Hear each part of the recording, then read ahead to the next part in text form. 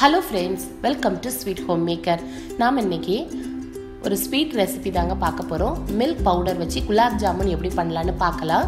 அது பார்க்குறதுக்கு முன்னாடி நீங்கள் இன்னும் நம்ம சேனலை சப்ஸ்கிரைப் பண்ணலைன்னா கீழே இருக்க ரெட் கலர் சப்ஸ்கிரைப் பட்டனை ப்ரெஸ் பண்ணிவிட்டு அப்படியே பக்கத்தில் இருக்க பெல் ஐக்கானையும் ப்ரெஸ் பண்ணுங்கள் என்னோடய ஃப்யூச்சர் வீடியோஸ் எல்லாமே உங்களுக்கு நோட்டிஃபிகேஷனாக வரும். நீங்கள் மிஸ் பண்ணாமல் பார்க்கலாம்.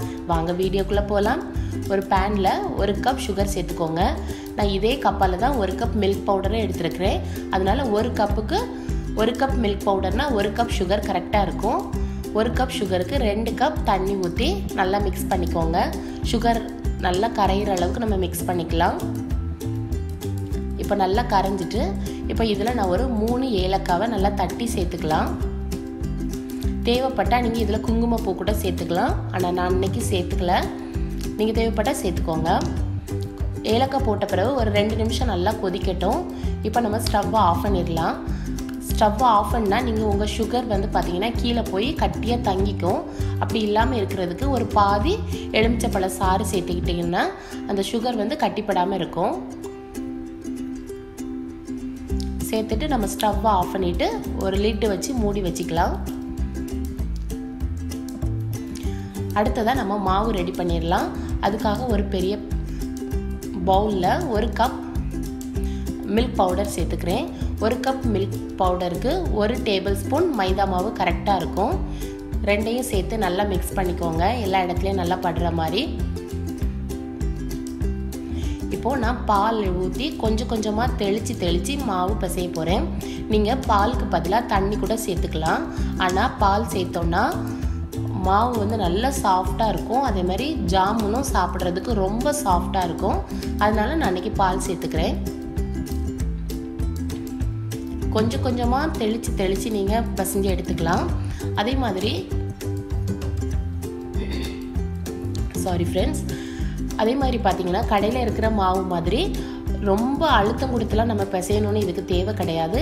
லைட்டாக ப்ரெஸ் பண்ணி தேய்ச்சாலே பிசைஞ்சாலே போதும்.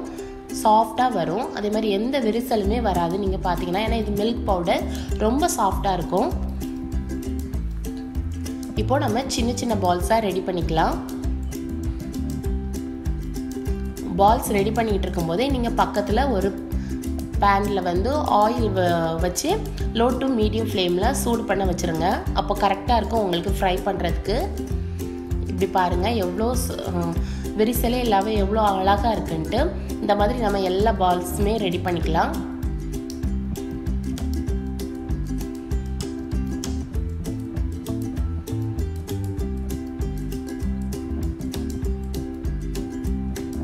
இனிமேல் நம்ம இதை ஃப்ரை பண்ணிடலாம்.